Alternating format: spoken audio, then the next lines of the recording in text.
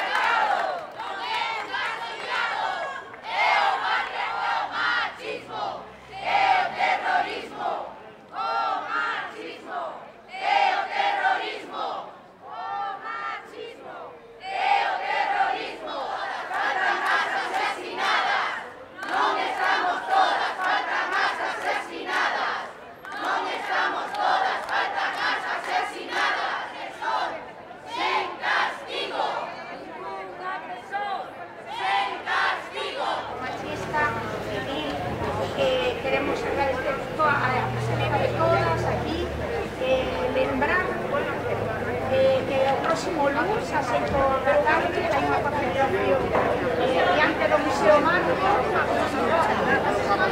non se oye, non se oye Lunes a las 8 del barco As 8 da tarde hai convocada unha concentración na Rúa do Príncipe, a altura do Marco, convocada polo feminismo unitario, tamén contra o asasinato desta veciña. Perfecto. Entón, facemos un chamamento a que